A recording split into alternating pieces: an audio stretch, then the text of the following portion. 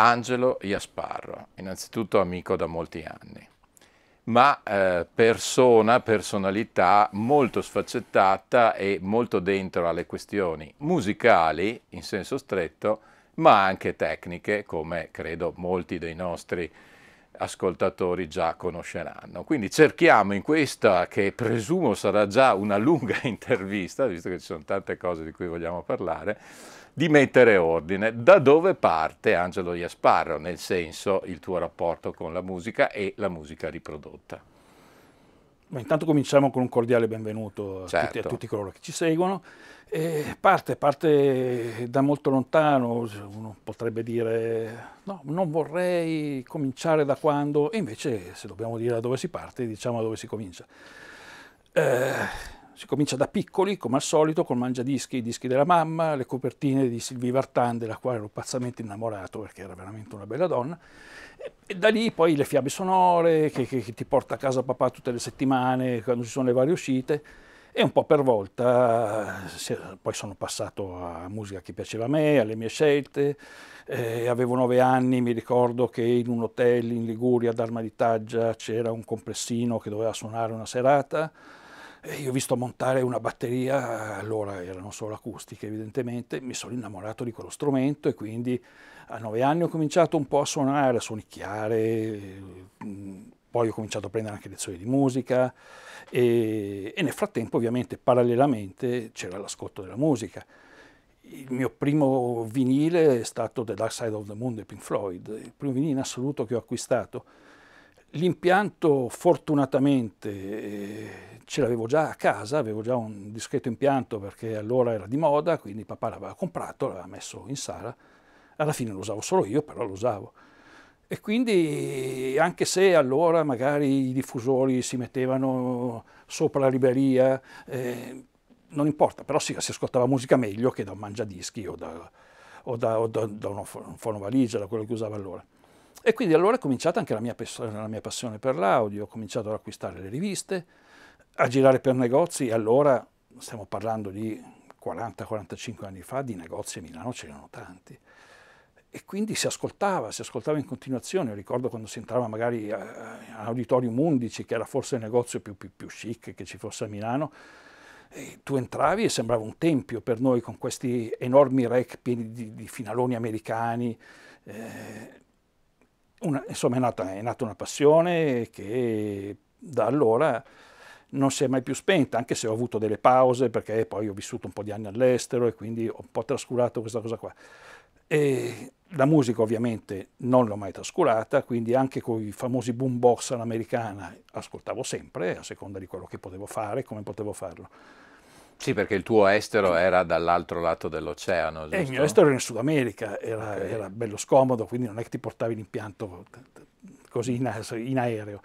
E, però, ripeto, la musica per me è sempre stata, io mi ricordo quando venivo qua in vacanza una volta all'anno, mi registravo tutte le cassette dei miei dischi e poi me le portavo in Venezuela e me le ascoltavo là, le ascoltavo in macchina e quindi la musica ovviamente è una passione che non può mai finire l'audio per un certo numero di anni ha avuto una pausa per, per, forza di cose, poi sono quelle passioni che anche se restano sopite per qualche anno poi tornano sempre fuori, tornano sempre a galla e quindi poi ho ricominciato.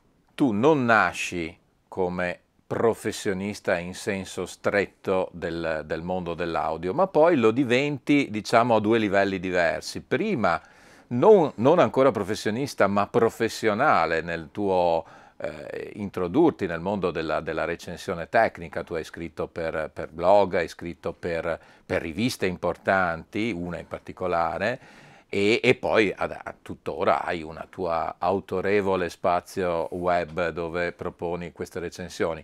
E dico professionale, non professionista, perché non era la tua fonte di guadagno principale.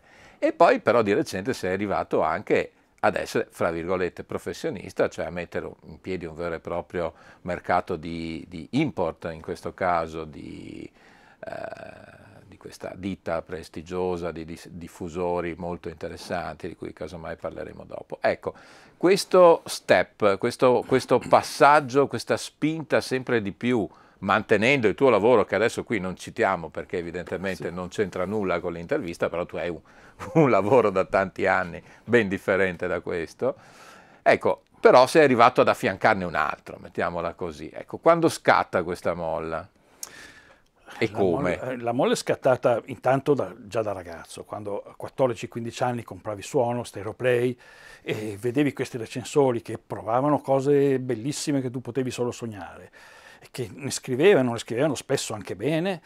Eh, per me erano, erano, dei miti irraggiungibili, un po', un po', come i grandi artisti che vedi in televisione. E poi vabbè, la cosa è rimasta lì, è morta lì. Io mi ricordo per esempio che quando, quando ero in Venezuela avevo l'abbonamento ad Audio Review, per cui tutti i mesi mi arrivava dall'Italia per via aerea, arrivava in Venezuela e io lo leggevo regolarmente. Tornato in Italia mi sposo, sistemo il mio impiantino nella casa nuova, eccetera, eccetera, senza particolari velleità. Finché, eh, finché parte internet e parte sul serio e comincia a prendere piede si parla ancora dei modem a 56k. Eh, non, non Fine anni che... 90 per localizzare. Esatto, esatto, okay. esatto. E casualmente trovo un gruppo che parla di hi-fi, di audio, che poi era quello di TNT Audio di Lucio Cadeddu, che, che è ancora, ancora, in giro ed è un amico tra l'altro. E lì conosco delle persone, conosco virtualmente ovviamente, tra le quali il signor Bebo Moroni, che insomma adesso lo nominiamo, sappiamo già tutti chi è, è inutile presentarlo. E, e facciamo questa conoscenza virtuale per, per, qualche anno, fino a che Bebo Moroni decide di aprire la sua Videofy, mm. rivista online. E nel momento in cui la sta organizzando, tra le altre persone alle quali ha chiesto di collaborare con lui, c'ero io. Mm-hmm. E quindi io ovviamente, potete immaginare, ho dato subito la mia disponibilità, e dopo poco tempo ci siamo visti, allora c'erano ancora i top audio, ci siamo visti un top audio e abbiamo stretto un accordo, mi ricordo c'era Igor Zamberlan, c'era Fabio Cottatellucci, insomma un po' di, di, di collaboratori dell'epoca e abbiamo cominciato a lavorare. E quindi così sono entrato un po', un po per caso nel, nel, nel, giro dell'audio e sono rimasto in Videofy per circa 4-5 anni. Poi sono stato chiamato, eh, grazie agli amici mm, Benedetti, Marco Benedetti, eh, Matarazzo, sono stato chiamato in Audio Review, mm. che eh, per me era la rivista più prestigiosa che ci fosse allora, secondo me lo è anche adesso, senza niente togliere agli altri evidentemente, e quindi anche lì per me è stato un salto di qualità notevole poter scrivere per radio, a parte che da quel momento era scattato professionismo, nel senso che prima scrivevo gratis e poi qualche cosa hanno cominciato a pagarmi. Certo. E da allora sono diventato professionista, hanno, mh, mm, ho fatto dei servizi da Las Vegas, dal famoso CES, insomma ho cominciato a muovermi seriamente in questo, in, questo, in questo giro, ho provato un sacco di cose, ho avuto tante soddisfazioni, fino a che poi, dopo anche lì circa 4-5 anni, le note vicende di audio review, che adesso non stiamo a rivangare, eh, mi hanno fatto un po' disamorare di questo, di, di, di questo tipo di giro e mi sono aperto una mia rivista online che si chiama audioactivity.com, con la quale tuttora continuo, qui si sta parlando, allora se vogliamo fare una cronologia, diciamo che Video e Fai io sono entrato nel 2002, perciò sono, sono quasi vent'anni e, mentre Audio Activity è stata aperta nel 2012, quindi sono quasi dieci anni che io lavoro con la mia Audio Activity. Una cosa tira l'altra, sei in giro per fiere, eccetera. Un giorno a Monaco di Baviera, durante il famoso Monaco End, ho trovato un marchio di diffusori polacco che mi è piaciuto in modo particolare. Io non è che fossi tanto attirato dall'idea di, di importare, io non ho mai pensato di mettermi a fare questo lavoro professionalmente mi sono seduto in questa stanza, semplicemente perché ero stanco di stare in piedi, ho sentito questi diffusori da 700-800 euro al paio da pavimento piccolini, li ho sentiti suonare bene e non volevo più uscire da questa stanza. Dopo una mezz'oretta nella quale mi sono fatto mettere un po' di dischi che conoscevo, sono uscito, ho parlato con il responsabile commerciale che mi ha detto che non avevano distributori per l'Italia e lì è cominciata la mia avventura con Pilon Audio e, certo. e i loro diffusori che tuttora continua, va per la sua strada e penso che loro siano contenti di me, io sono contento di loro. Mi sembra un percorso eh, evolutivo eh, quasi naturale no? nell'ambito di una, di una, passione. Però torniamo nello specifico all'audiofilo che ovviamente è in te come è in me, come è in tutti gli appassionati veri. No? E quindi adesso non stiamo a fare il percorso evolutivo del tuo impianto perché se no non basterebbero probabilmente due settimane di racconti, ma concentriamoci invece sulla, sul tuo impianto di oggi che ha una caratteristica a me evidentemente molto cara, cioè il fatto che tu usi come diffusori un prodotto tipicamente, strettamente, marcatamente professionale, non solo professionale, ma un prodotto del professionale storico, quello che è stato per tanti anni, per alcuni dei più importanti studi del mondo, un riferimento assoluto che sono le 4450 B, sì, di JBL mischiato con un front-end invece squisitamente audiofilo. E allora parliamo un po' di questa, di questa interazione di questi due mondi, no? cioè del front-end audiofilo e, e, del punto invece certo. dell'ascolto finale. Beh, allora, le 4350 sono un'anomalia, se vogliamo dirlo tra virgolette, nel senso che il mio impianto è sempre stato impostato sul discorso. A me non piace tanto la parola audiofilo perché a volte sembra diventare quasi dispregiativa. Settaria? No, settaria. Settaria forse sì. Comunque, vabbè, io avevo degli altri diffusori, avevo delle MBL 101D che sono diffusori forse tra, tra i migliori dal punto di vista strettamente audiofilo. Eh, non che mi mancasse molto con quei diffusori, se non forse un pochino più di dinamica, perché quelli hanno un sistema un po' particolare di funzionare, più di tanto non riuscivano a fare. In un lungo articolo che avevo scritto a suo tempo per Audio Review, da sette pagine, avevo raccontato del ritrovamento di queste JBL 4350B. Non le ho comprate, le ho trovate un mio amico che era portiere in uno stabile in centro a Milano, le aveva lui in cantina perché le avevano regalate da uno studio di realizzazione dismesso a Milano. Eh, un giorno eravamo a pranzo. Quindi in condizioni, immagino, non buone. Pranzo, la faccio breve perché se no sì. facciamo sette pagine di articolo anche qua. Eravamo a pranzo e mi dice guarda ho due cassoni grossi giù in cantina da farti vedere, magari ti interessano, te li vieni a prendere.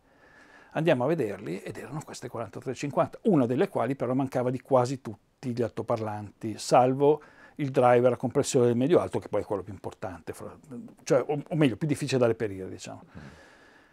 E quindi prendo il mio furgone, vado a ritirare, me le porto a casa, dico un po' per volta le sistemerò. Me la sono presa, pensavo poi di venderle una volta sistemate, me la sono presa comoda, ci ho messo due anni, anche perché trovare i woofer, i woofer li ho trovati in Italia, il, il medio basso l'ho trovato negli Stati Uniti, il, Twitter, il super Twitter l'ho trovato in Olanda, ovviamente ho comprato una coppia di tutti perché così potevo avere qualcosa di, di, di ricambio.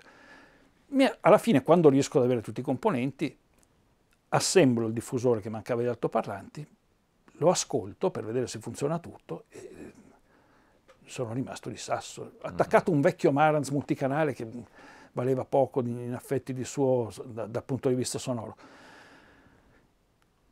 Mi sono precipitato a portare anche l'alto diffusore, a metterlo insieme, li ho ascoltati in un capannone da 800 metri quadri, perché non me li sono portati a casa, sono casse a 120 kg l'uno, abbastanza faticoso il lavoro. Le ho ascoltate e non riuscivo a credere alle mie orecchie ero anch'io dell'idea che fossero casse da giostraio, parliamoci chiaro, che poi è, è il comune sentire, diciamo, tra gli audiofili. Con tutto il rispetto per i giostrai, che, che, che salutiamo caramente. Che ascoltano benissimo e a pressioni sonore che normalmente l'audiofilo certo. si scorta, non perché non possa, cioè non perché non voglia, ma perché non ce la fa l'impianto. Okay. E quindi ascolto questi diffusori, comincio a ascoltare anche musica barocca, perché è, è vero, per il rock sappiamo tutti che... Uh-huh. E sento le voci uscire bene Telefono al mio amico Domenico Pizzamiglio, che poi è diventato anche mio collega e, e mio collaboratore in Audio Review, eh, scusa, in, in, Audio Activity, lo chiamo, lui è un cantante barocco, per cui mm. insomma, conosce bene le voci, anche lui le sente e, e ci rimane di sasso. A quel punto me le sono portate nella mia sala d'ascolto, ho sfrattato le MBL che mi sono vendute e mi sono tenuto queste. Quindi loro sono sempre state amplificate in modo, diciamo, se vogliamo, semi-professionale, perché loro avevo dei Bryston, il 7B, uh-huh. che erano macchine che venivano da professionale, ma dedicate all'audio casalingo e da allora quelle casse lì non se ne sono più andate e ho l'impressione che non se ne andranno mai più. Mm. Eh, A fronte invece di una continua rotazione di quello che c'è prima. Allora, continua dal punto di vista audiofilo, devo dire no, perché per fortuna non sono uno che cambia spesso, okay. quindi i, i, miei vecchi Bryston 7B sono stati sostituiti a seguito poi di una recensione dagli ultimi Bryston usciti, ma avevano avevano 15 anni di vita, mm. per cui non è... Non... Beh, ricordiamo al, al, appunto al mondo degli appassionati audiofile che Bryston è una delle più prestigiose ditte nell'ambito professionale sì, e sì, sì. addirittura è una ditta, questo lo dico io, ma senz'altro lo sai, eh, che ha, per dire, fra virgolette, l'appalto di curare le amplificazioni interne ed esterne dei diffusori PMC, cioè la PMC, prestigiosa ditta inglese del professionale, a un certo punto ha detto, signori Bryston, curate voi la nostra personale amplificazione. Sì, sapevo quindi, di questa cosa. Bryston fa degli amplificatori nati e concepiti sulla PMC, quindi sono una ditta con esperienza, eccetera, quindi certo, certo. prestigiosa. Certo. Sì, sì, infatti io mi sono trovato benissimo con loro. E, li ho tenuti per un bel po'. Anche il mio giradischi, per esempio, acquistato tra l'altro usato col, col, col braccio Gram, avrà, ormai sarà 15 anni che è in casa mia, quindi non sono uno che cambia spesso. Il lettore Super Audio CD, uno Yamaha CDS 3000, preso quando è uscito, anche lì ha seguito una recensione, mi è piaciuto, me lo sono comprato, però anche quello ha qualche annetto sulle spalle, anzi adesso non lo fanno neanche più. Quindi non sono uno che cambia spesso, anche perché quando arrivi a certi livelli trovare qualcosa che davvero vada meglio è numero uno difficile, numero due molto costoso. Eh, a proposito, mm. ti, qui ti volevo tirare per parlare dell'ultimo, dell'ultimo arrivo che rispecchia perfettamente questa, questa... L'ultimo arrivo è una vera follia, nel senso che eh, conoscevo di nome Audionet, che è un'azienda tedesca che fa amplificazioni. Ero stato, qualche mese fa sono stato a Berlino e ho fatto un servizio da quell'azienda ma il suono delle loro macchine, francamente. Cioè, il nome li, li, precedeva, ma io non conoscevo il suono delle loro macchine. Ho ascoltato qualcosa là in azienda da loro a Berlino, ci sono anche le foto, poi su, su Audio Activity è stato pubblicato tutto il servizio, però malgrado fossero i pre-finali top di gamma, che costano intorno ai 110.000 euro il, il mm-hmm. trittico, erano collegati a delle piccole DAIN audio, perciò non si poteva sinceramente eh, verificare quale fosse davvero il loro potenziale sonoro. Eh, un giorno mi chiama il distributore e mi dice guarda ho qui l'Humboldt che è il loro integrato top di gamma, ho qui un demo, mh, mm, vorrei fartelo ascoltare e magari ne scrivi una recensione. Un po' perplesso perché pesa 61 kg il mm-hmm. giocattolino, dico però vabbè, eh, affascinato però dal, dalla costruzione, dalle foto che ho visto, degli interni eccetera, delle foto che ho scattato io tra l'altro. E mh, me lo sono fatto portare a casa come ho scritto sulla recensione, però lo riepilogo velocemente perché non tutti l'hanno letta, io normalmente quando comincio a scaldare un diffusore, ho tradizionalmente, più per un discorso scalamatico che altro, metto un, un disco degli Intilimani, che mi piacciono da quando ero ragazzino, e, è una raccolta, il primo brano è Altura, quella che comincia col, col flauto di panno, col flauto andino. Ma ripeto, l'ho messo per far scaldare l'impianto intanto che ero in giro per la sala dopo dieci secondi il suono che sento mi inchioda sulla poltrona e non mi sono più mosso e da lì ho detto questo amplificatore qui prima o poi dovrà essere mio. Poi ho, ho ascoltato decine e decine e decine di, di, di, dischi, di CD, di vinili, perché ovviamente per la recensione poi bisogna fare una cosa un po' completa. Ho chiamato gente che di audio se ne frega altamente, è venuto lì a sentire la differenza fra quello che avevo, che ripeto non è che fosse poi così malvagio, e questo e hanno capito tutti che si giocava assolutamente un altro campionato. E quindi poi eh, in qualche modo mi sono messo d'accordo e lo, invece che Silver, che era quello in prova, l'ho fatto arrivare uno nero, ho aspettato due mesi perché le consegne, questi stanno vendendo bene e adesso ho in casa questo amplificatore qui che, certo. che vale veramente tanto. E a spizzichi e bocconi siamo arrivati a descrivere dalle sorgenti all'attuale amplificazione i diffusori. La, una domanda, domanda delle 100 pistole, eh, riguarda uno dei temi caldi, forse il tema più caldo dei nostri giorni, ovvero il tuo rapporto con la cosiddetta musica liquida eh, confronto, io ti seguo su Facebook e vedo che quotidianamente tu, fra virgolette, giochi e quando dici sto giocando metti sempre un CD, un super audio CD, sì, un vinile. Effetti, in effetti io scrivo quindi, now playing, però Facebook certo, traduce con sto esatto, giocando. Esatto, eh, ma mi piace questa idea. Ah, sì. E però eh, ci sono sempre dei supporti fisici, quindi come ti rapporti fra il supporto fisico, che evidentemente fa parte del nostro DNA per motivi anagrafici, e invece questa nuova frontiera che è attualità, non più futuro evidentemente, della musica liquida. Ben conscio degli strali che mi attirerò, mi ci rapporto malissimo. Mm. Nel senso che per il mio lavoro io sono ad una scrivania, dietro un computer, 8, 9, qualche volta anche 10 ore al giorno. L'idea di avere un computer, un tablet in mano, anche nella mia sala da musica, sinceramente non mi attira. Ho fatto prove, anche perché quando mi arrivano da recensiri DAC ovviamente devo attaccare il computer. Mm, dal punto di vista qualitativo niente da dire, perché è ovvio che un file ad alta risoluzione, diciamo da 24-88 in su, perché poi alla fine eh, secondo me lo standard minimo dell'alta risoluzione è 2488-2496, oltre si sente sì e no, francamente non, non, non, non saprei neanche io dire, però decisamente ci avviciniamo ai livelli del vinile, che eh, secondo me è quello che alla fine poi eh, suona suona da riferimento, mentre il CD solito a 1644 purtroppo ha dei notevoli problemi che, che restano e che, che, nessuno potrà mai togliere. Quindi non posso parlare male de, della musica liquida, è utile, è comoda, è una fruizione che a me spaventa un po' in certi casi perché eh, conosco tanti audiofili, vedo che si scambiano gli hard disk da, da, da, da un terabyte come se fossero figurine dei calciatori, eh, questo te lo do. Intanto si rubano tutti la musica a man bassa e questa è una cosa che io odio perché è vero che la musica non è la mia professione, anche se faccio un po' anche il musicista a tempo perso.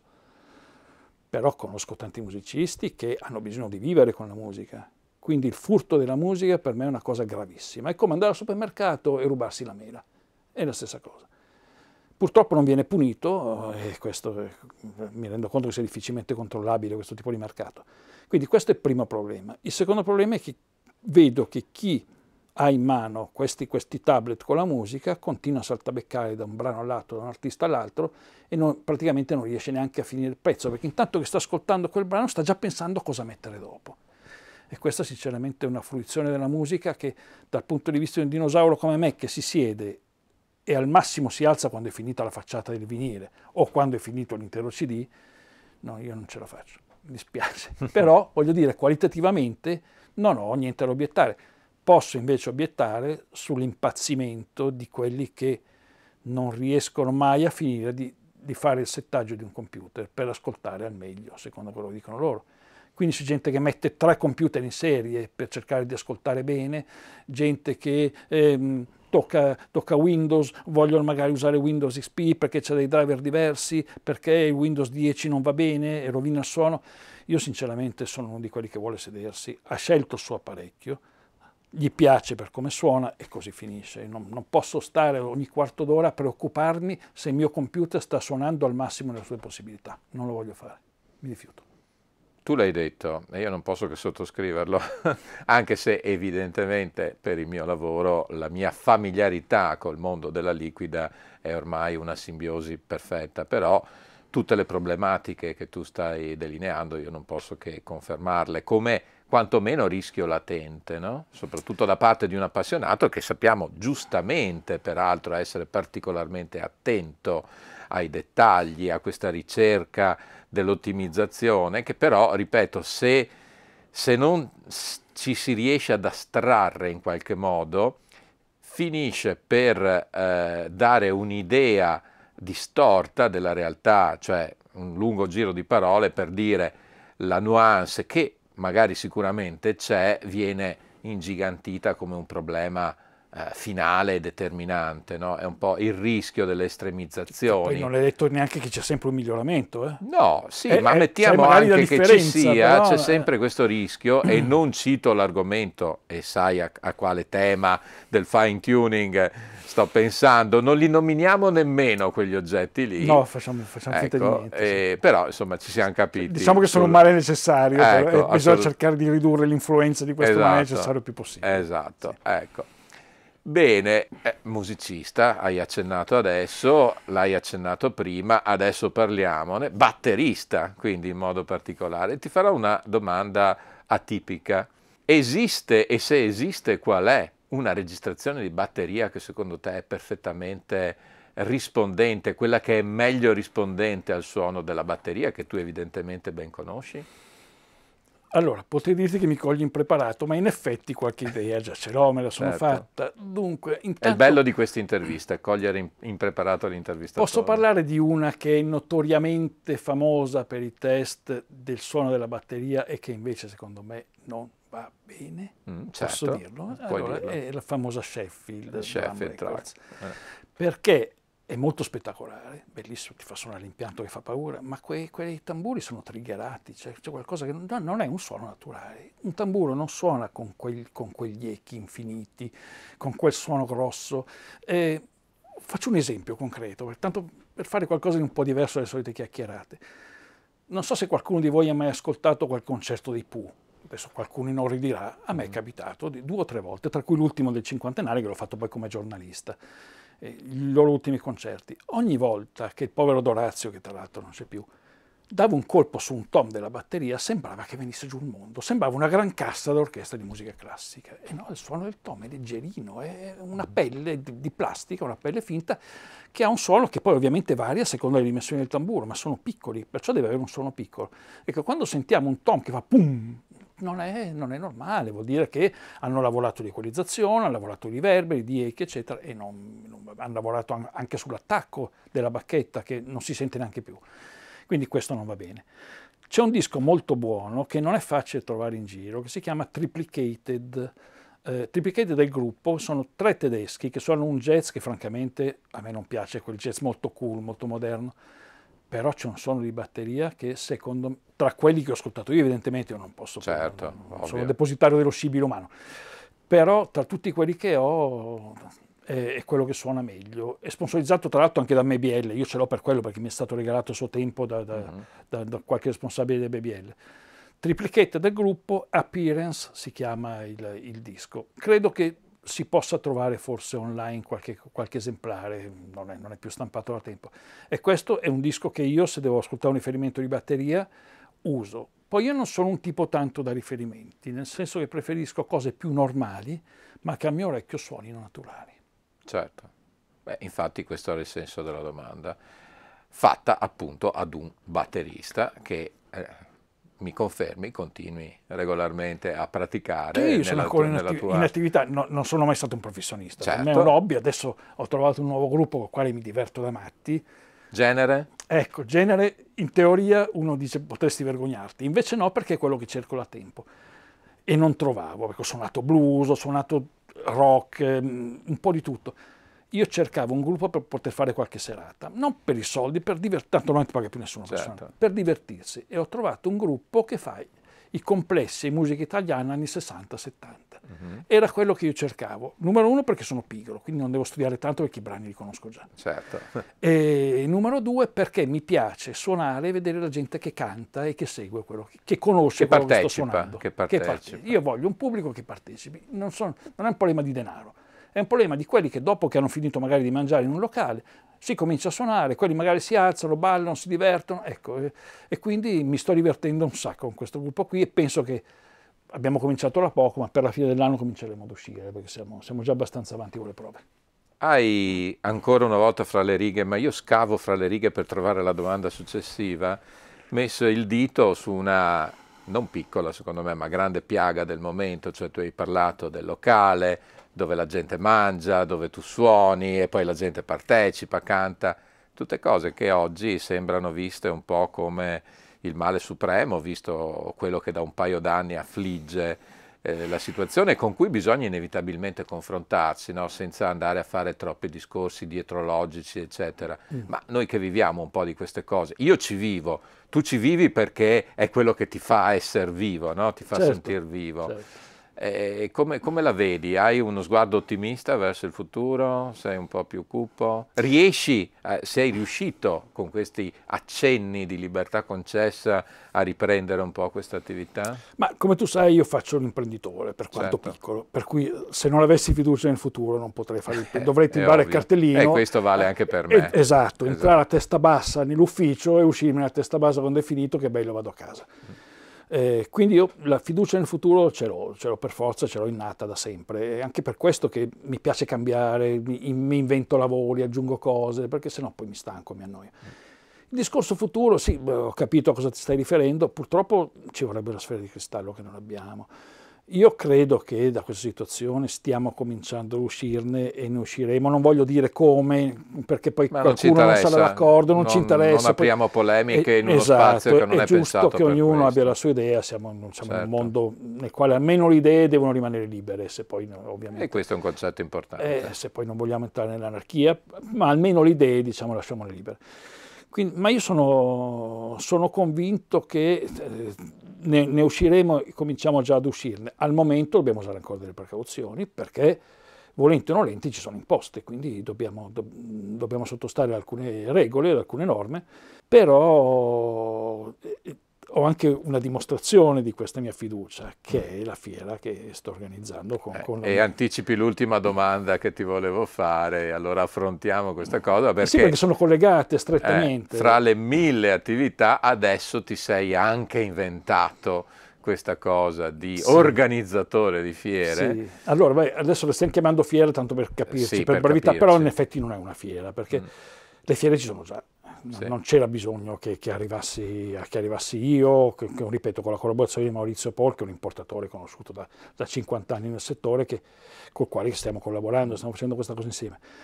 L'idea era di fare una cosa molto diversa dalla fiera, doveva essere inizialmente, quando è stata progettata, pensata, diciamo, tre anni fa, una cosa che fosse più simile a un top audio, per cui ci fosse anche l'audio video poi questa situazione qui ha stroncato tutto, gli assemblamenti non si possono fare, le grandi aziende hanno depennato qualsiasi possibilità di fare fiere e per il momento non, ancora, non stanno ancora pensando neanche per il futuro. abbiamo interpellato... Finché non si chiarisce, esatto. Esatto, grosse aziende del settore audio-video, audio-video multinazionali, eh, non mm. parliamo. E quindi per il momento questa, questa cosa qui deve essere per forza scartata.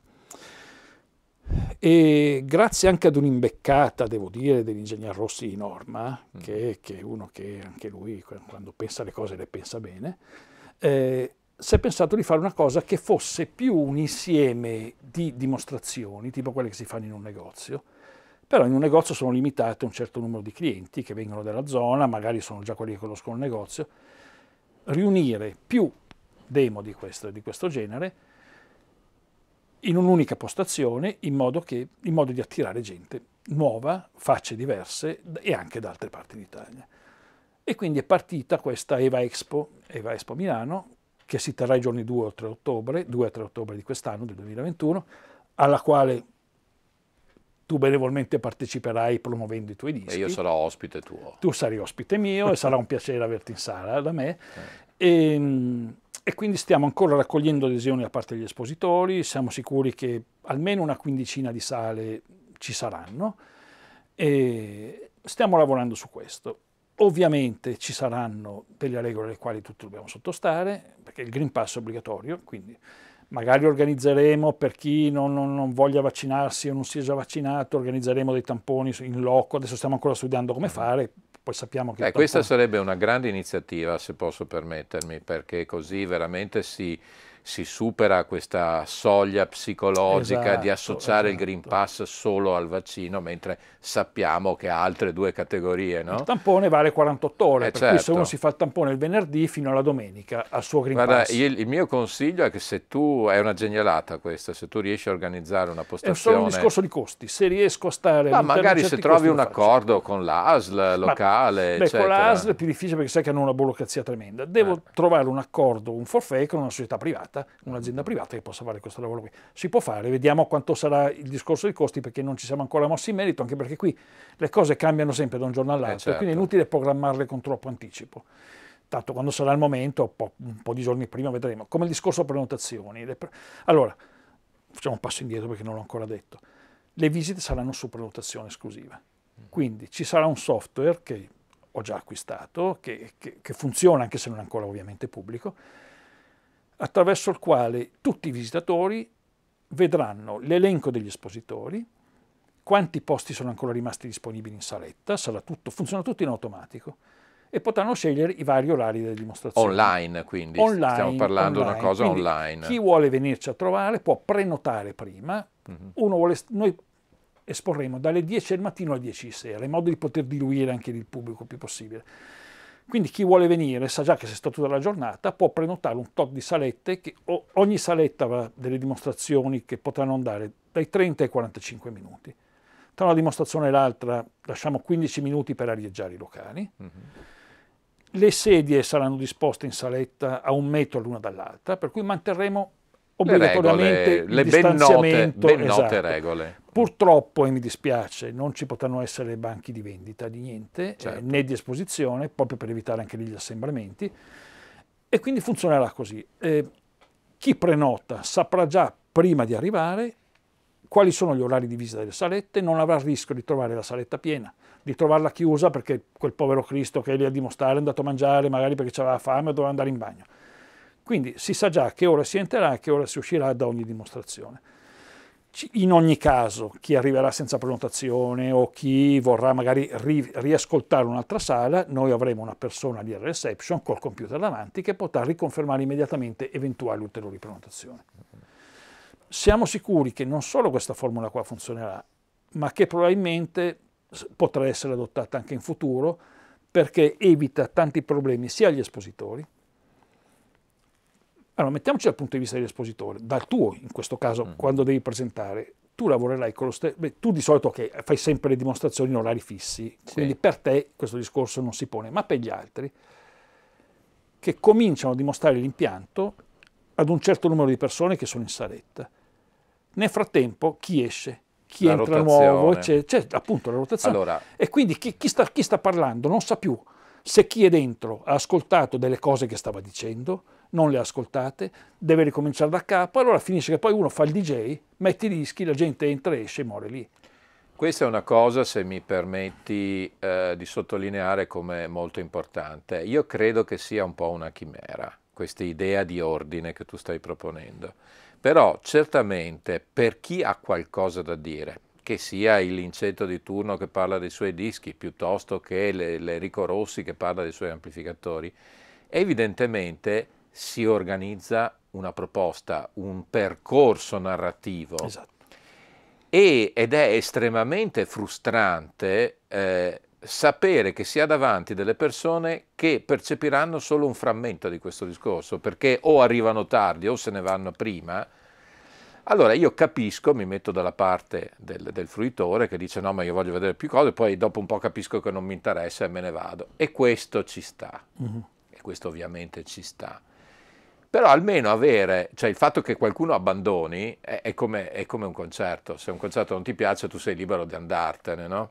Questo non Però, lo possiamo evitare. Ecco, non, non si può evitare, ma, ma, fa parte del gioco. Certo. Ma invece il fatto, ad esempio, di iniziare ad un orario preciso e tu cominci e sai che hai un tuo pubblico e questo pubblico potrà diminuire, ma non potrà arrivare uno a metà, per cui dice, ecco, a questo che si è perso la prima parte cosa gliela riassumo, no. Esattamente. E allora affrontiamo questa, questa dimostrazione con lo stile del concerto, perché tu arrivi, stai lì, se proprio non ti piace, dopo un po' te ne vai, è, è lecito, però non pensi di arrivare a concerto iniziato. In Inghilterra, non, nel, nel West End, nelle sale da concerto, come inizia il concerto tu non no, entri anche più. Anche qui con la classica nei teatri quando eh certo, non entri più. Eh, eh, cerchiamo di dare questo modus pensandi che non, che non, è un obbligo di dire adesso vieni sei costretto a stare là. No, cioè se tu dopo cinque minuti dici a me che me ne frega, vai via, vai via certo. è tuo diritto. Certo sì. Però almeno avere un approccio di base da dire è uno spettacolo. Ecco, mettiamo queste nostre che dimostrazioni che io sono, sono uno spettacolo. Per quello che sto dicendo che sono delle idee che potrà funzionare anche in futuro, indipendentemente da restrizioni o meno, in questo momento non è quello il problema.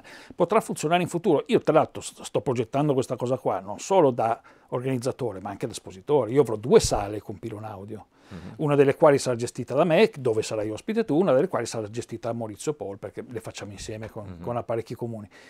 E quindi io mi metto prima di tutto nei panni dell'espositore, anche perché io poi devo vendere i miei spazi agli espositori, e poi dopo mi metto anche ovviamente dalle parti del pubblico, ma tu come espositore cominci illustrando il tuo impianto, fai ascoltare e poi se tu hai 45 minuti per esempio di, di, di, di dimostrazione, per 30 minuti fai ascoltare la musica, gli altri 15 puoi chiedere a qualcuno se vuole mettere i suoi dischi, se ci sono domande, eh, poi quello che esce perché vuol vedere tutto, in questo caso non ci sarà perché Se tu hai prenotato l'evento dopo, è inutile che tu esca prima, tanto non puoi andare da nessuna parte.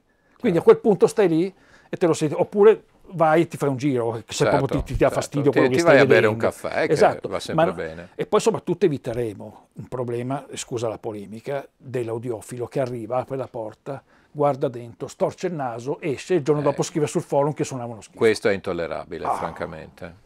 Quindi almeno tu puoi anche dire che non ti piaceva il suono, ma sei stato lì mezz'ora da Ha ragione veduta. Oh. Ha ragione veduta. Esatto. Nessuno vuole imporre di piacere a tutti, ci mancherebbe altro. Quindi questa è la prima edizione di questo tipo di fiera ed è di, di, di manifestazione, diciamo, ed è organizzata in un periodo non per, non, decisamente non felice. Però io sono sicuro che andrà bene e se andrà bene la ripeteremo con la stessa formula, evidentemente ingrandendolo, aumentando il numero di espositori. Certo. E... A proposito, l'ingresso è gratuito, eh. mm. l'ingresso è gratuito e poi il parcheggio anche coperto dell'hotel, abbiamo una convenzione, costerà solo 5 euro. Eh, non abbiamo detto dove è esattamente. È, è a Rho, okay. è all'hotel Expo Fiera Milano, che è a Rho, è a 500 metri dalla fermata metropolitana, ci sarà una navetta ma si può venirci anche a piedi ed è a 200 metri dall'uscita dalla tangenziale, okay. per cui è comodissimo. Parcheggio, ripeto, 5 euro in convenzione i, non c'è niente intorno, per cui se uno si vuole fermare a mezzogiorno, lì c'è il bar, abbiamo fatto anche una convenzione, convenzione. 10 euro panino e bibita, certo. per cui nessuno sarà, eh, sarà vessato diciamo, da mm. prezzi fuori dal mondo, certo. non, non, ci perdiamo su queste sciocchezze. Insomma.